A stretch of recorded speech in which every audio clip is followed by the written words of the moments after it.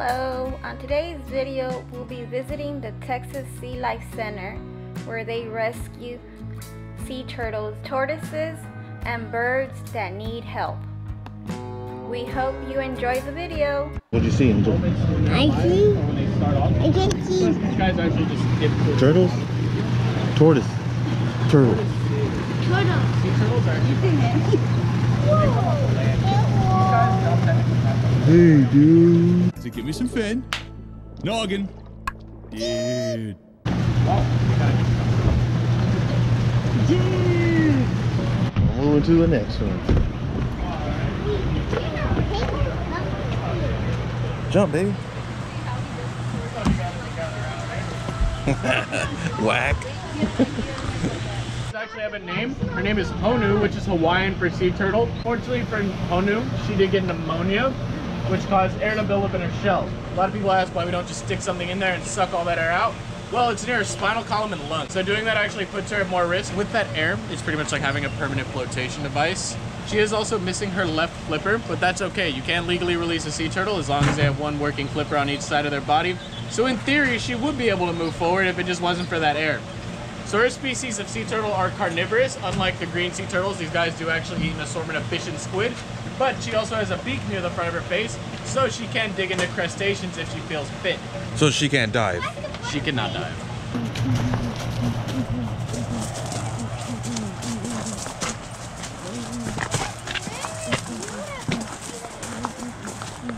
What do they eat? What do they eat? So these guys actually just eat mice. Those are like little birds. So, right over here we have our kestrels, Vincent and Vanessa. These birds fly all the way from Canada to Mexico, so they do have a very long flight. But these two, they sustain wing injuries. So they can't fly, but they won't make it one fourth of that way. Vanessa's the one showing off right there, with that tiger stripe pattern, and Vincent's right up there with more of that orange and dotted pattern. He has actual coloration, so he can show off for females. Can you see it? And when we brought him here, he's very interested in Vanessa. She could care less. So, we're not gonna have no kestrel babies anytime soon. They're just kind of awkward roommates. The only rules that they have is that Vanessa will always come first, and if she doesn't, she actually doesn't fit. So these guys are red-footed tortoises. Um, these were owned by an elderly woman for a while, but she somehow managed to get them to eat proteins. I don't know how you managed to get a herbivore to eat proteins, but they did. So this causes this to form. This is called pyramiding. What it does is it makes the shell less sound and more hollow. So if they did have predators here, they'd be able to get through that thick shell way easier. But since they have nothing here, he just kind of looks like Godzilla, and she just has little itty bitty spikes on her. So like, you guys can't touch the top of her shell. You can't touch a dinosaur? That's not a dinosaur. Yes, this is a girl. It's a turtle. You got wet. It's Godzilla! Mini Godzilla! Well, uh, ignore the dead baby quail, and right over there we have Tui, the illegal animal. Uh, baby quail. Oh my goodness. Look at this chicken. Yeah, but we sometimes feed them smaller birds. Circle of life, baby. so right over here, we have Artemis, our crested caracara, otherwise known as the Mexican flagbird. These birds are both scavengers and birds of prey because they have no feathers around their beaks. If they find digging into a dead body way more appetizing than hunting live prey, that's what they'll go ahead and do. So we found Artemis on a golf course. She had a broken wing, and by the time we got to it, it had already grafted in properly. There, sitting up on that perch, is missing his eye, while this one right here, closer to y'all, is missing his wing. Oh, well, I, That one's without the eye. I can see with one eye. He always just has one side of his head turned to everyone. The other side of his head is never really facing people because he's looking at you with the eye that's working. Since they're like almost like a horse and they have something right down the center of their face, they're able to kind of split off in Mr. directions. Neil Patrick. So he's perfectly fine. Hi, bird. Hi, bird. What's up, my guy? Right over here, we have our female Texas tortoises and my personal little favorite one right here. This little itty bitty baby. You not betting? No, I haven't gotten her used to human touch yet. I'm still trying to get her through the enrichment to try and get her used to humans. Oh, look at small. Cute. She's so small. So the other three female Texas tortoises in here were actually just found here, and rather than They're over there. relocating them, we just decided to keep them here. This one though is brought to us because as you can see, she's going through her own stage of pyramiding right here. So you can see the gaps in between the shells, but we're trying to correct that as much as we can. This little girl though, I'm trying to get her used to human affection and all that, as I mostly do with some of the other animals. She's shaking her head. Yeah, she's probably not very happy. Follows him. So we don't know why this guy has a taste for human flesh, but he does.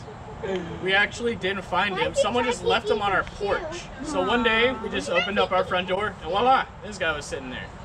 So we've had him ever since. These guys only get about this big and they live for about 100 years. So he's not going anywhere anytime soon. And to be completely honest, I think that's what plays into that anger. Because if I was that small, looked like that, and lived for that long, I'm not sure I'd be happy either. so What's trying to eat your shoe? He's trying to he's so eat his angry. He just does this. Okay, As that's enough. As you can see, there's not really much he can do once I got him in this state. He's just kind of, he's done for now. But he can wiggle and thrash all he wants. But he's a biter as well. Oh yeah, he'll even try and get my finger. Oh. Oh. oh no. He's going back. He's gonna go back. Yep. And he'll do this for however long he wants. and what's what's the Texas tortoise and Russian tortoise diet? Um, these guys are all both herbivores. Herbivores. We don't just don't know what's wrong with him. he is Nom, nom, clearly an omnivore, but He's got a dinosaur. so this is a skink. A They're skink. pretty much just Oh. snakes with liz- uh, with arms. Oh, yeah. I'll bite it. Mom, I'm biting. Does he bite? Uh, this one doesn't, but the other one does. Is Oh, he there's two kind? in there? Yeah. So this is Mando. The other one's name is Grogu. Does he like kids? Mando and Grogu. I Oh, touched touch, touch him, touch him. Pet him. You don't want to pet him? What's him? in here? In here is another. In there is another monitor. Oh, the snake. For sure, snake. He's got snakes. Feels like a snake. Yeah, Gently, I'm trying gently, to get just him used to more human, or like to more people. So this is actually pretty good that I'm getting. Come That. on, Angel. This one though has been here for only a year, and I wasn't expecting him to be as calm with me as he is. Hmm. The other one, Grogu right there, tends to actually bite, and I have bite marks on me. Oh my god. Are they fast? Eh, They can try and be. Oh. I wish them luck. I want to see them trying out. yeah. Okay. Okay. But They're not. They're not like Brown and Knowles or. no, they're not gonna get away from me. Yeah. Okay. Wait, yeah. This is Sally. Sally's taking a drink. I could, I could sit there and deal with it, but then it actually. Get your drink on, Sally. I mean, you got a lot. You could chug. And uh, the little gift shop, some little trinkets, t-shirts. Ahsoka is a rare breed of ball python that's called a spider morph. Pretty much, you only get this kind of morph through a lot of inbreeding. So she actually has a lot of neurological issues. She actually has this thing where she'll constantly look up towards the sky, or if you ever wrapped around her, she'll turn upside down and then go up. What? Is there a dead rat in there? That's her food. That's, that's, I think a cat rat. Uh, we just have them. Have you guys had an issue with ha- them having their own preference between like frozen and live? Not really. No? Usually we don't feed them live. We only do that if we know they're going to be released, which none of these guys are going to be released. These are actually all either our boss's animals or Yeah. Oh, okay. just kept here. So, but Soka doesn't even know she's a snake, so I'm not even sure she understands preferences. I don't Oh, even okay. think she knows she's an actual animal. I think she just thinks she's like a piece of silly string. Because Oh. she does not know what she's doing. Is this a tortoise school? I never seen one.